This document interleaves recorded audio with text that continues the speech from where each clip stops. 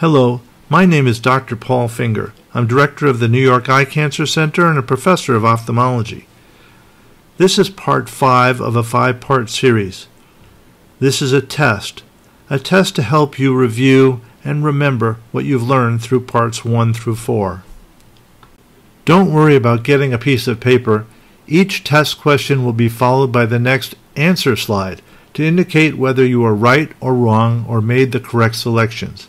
After all, there is no grade more important than how well you diagnose your subsequent patients. With that in mind, I sincerely hope you all get 100% correct and thus confirm my teaching. If you happen to be bewildered by the entire exercise, then send me an email so I can make my videos even better. Now, good luck. Question 1.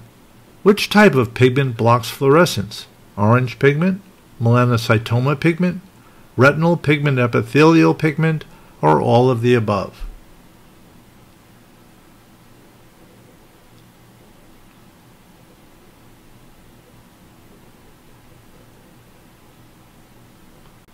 The answer to question 1 is all of the above. Remember, pigment blocks fluorescence. It's one of the main themes of this series. The most common presenting growth pattern for primary intraocular retinoblastoma is endophytic or towards the vitreous, exophytic or from the retina towards the choroid, vitreous seeds, or a mixture of the above.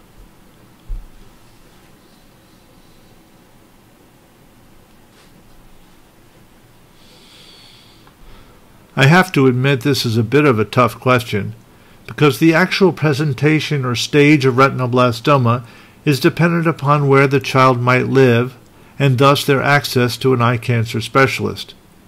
This was documented with medical evidence published in 2021 where a multi-center international registry study showed that socioeconomic status of a country will affect the stage of presentation and thus the patient's survival.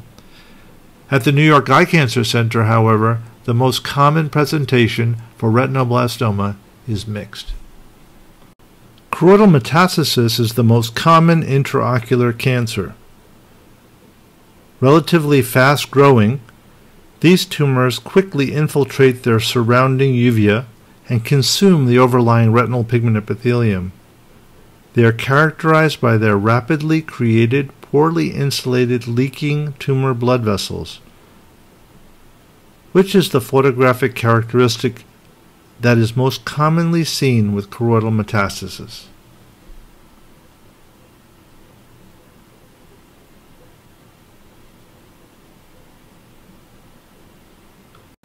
The answer is D, exudative retinal detachment.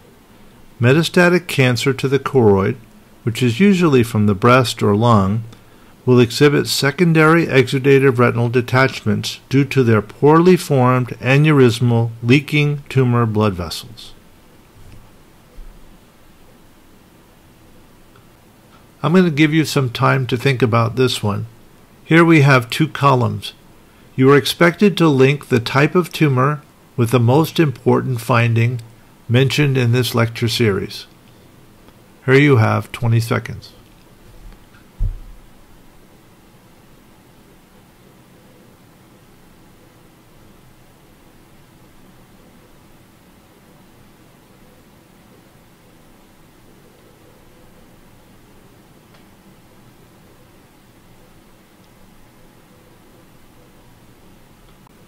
Okay, just in case you didn't have that piece of paper, here goes.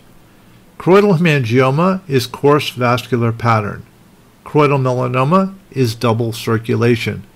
That was due to those formed tumor blood vessels seen beneath the retinal circulation. Choroidal osteoma is slow filling into that bony tumor as well as late fluorescein washout leading to intense late staining. The retinal capillary hemangioma was a high flow system where it was crucial to get those early phase images on the angiogram. Choroidal metastases were characterized by a starry sky of microaneurysms, many more than you would see with a melanoma or even hemangioma. Lastly, The retinal cavernous hemangioma has those pathognomonic, low flow saccular aneurysms with sedimentation that makes them appear half filled in the mid to late phases of the fluorescein angiogram. While I didn't cover this last question in the lecture, it does deserve exposure. The question is, where can I read free information, see images, listen and view lectures on eye cancer? Well, I've published an online text and atlas in the form of my website, eyecancer.com. There's also over 35 podcasts on various aspects of eye cancer, some technical and some not so technical, all worth listening, listening to for the eye care professional. I also have this YouTube channel, and it has multiple lectures that I've given for many years, which have been updated for your education. So the answer is all of the above. And feel free to bookmark them and come back periodically as I add new material.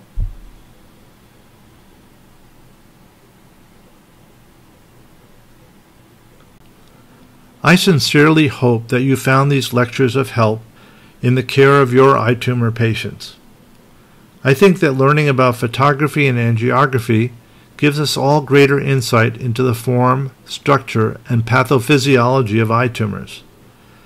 We see their effects on adjacent tissues, and that teaches us about the strengths and limits of our diagnostic methods.